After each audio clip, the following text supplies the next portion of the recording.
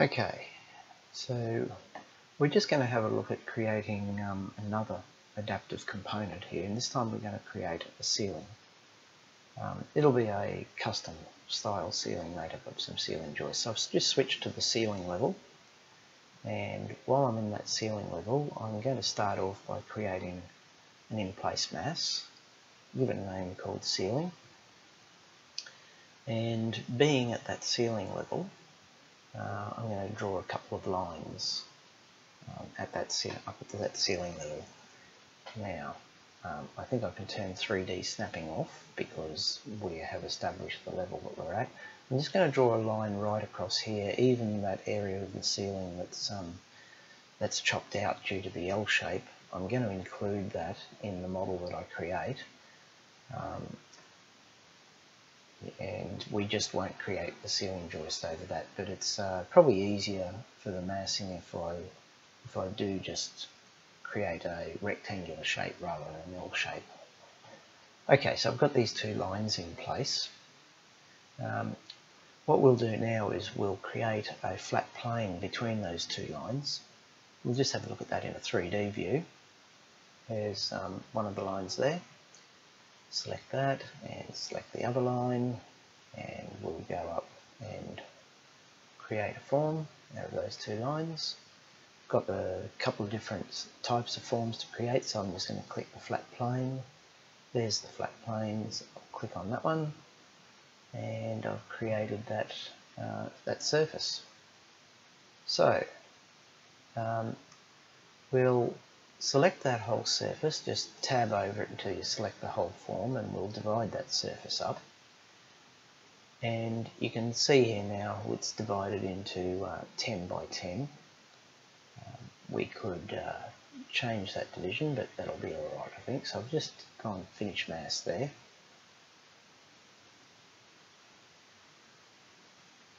Move it around and have a look at this so you can see how we've created that, um, that flat surface.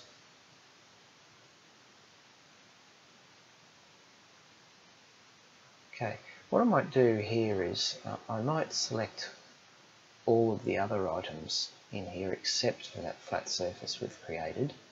I'll go into my uh, sunglasses here and I'll hide element. So everything else will be hidden except for um, the gridded surface that I've created. That'll just um, get things out of the road for me while I'm um, while I'm working on on this mass. So I think I'll select the mass now and um, and with it selected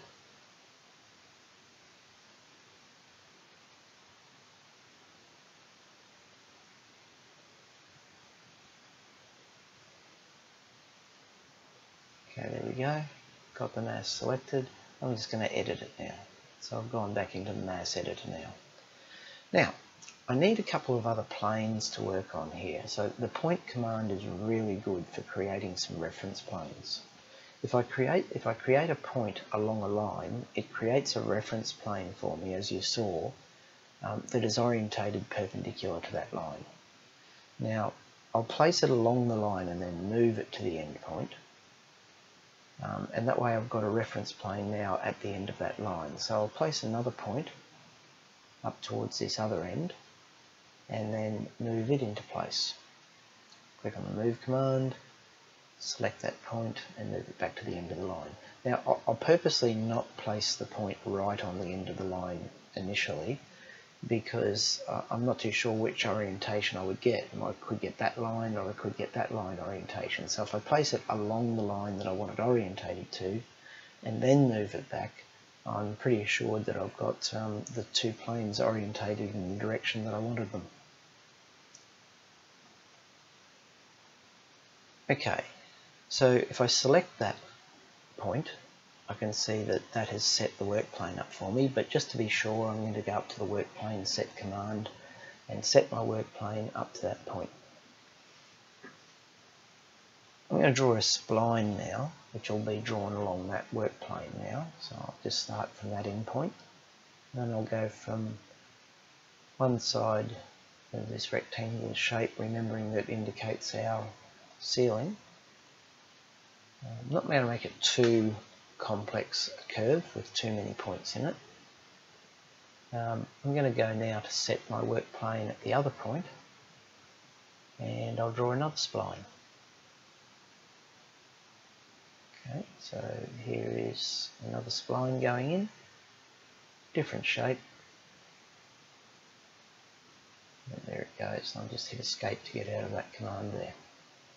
Now, if I have a look at this right-hand view here, click on the right-hand view,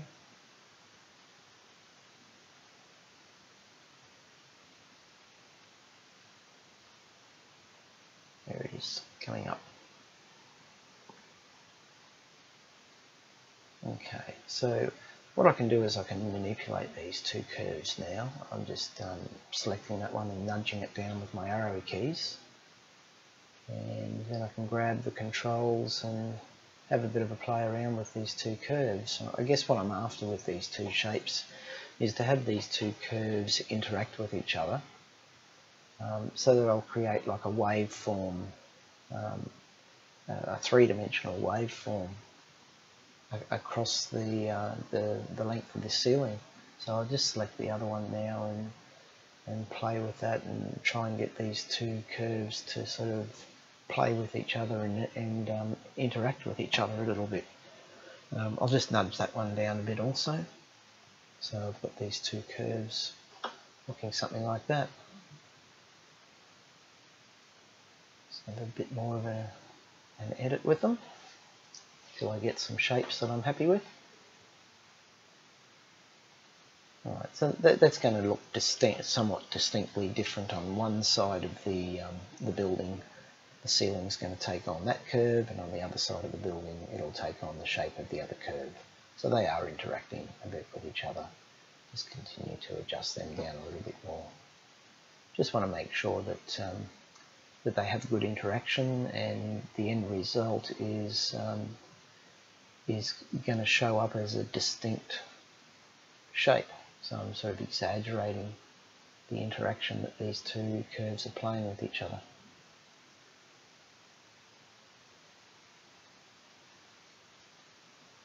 Okay, I'll just have a look at the home 3D view of that there now and you can get a bit of an idea then of those two curved shapes. They're, they're doing different things on one end of the building than they are on the other end of the building. So if I select both curves now, and control key to control select and then create a form between those two shapes, it's created um, it's created the waveform across that ceiling for me. Okay, so if I tab over it, then I can find that whole surface, I can divide that surface up as well.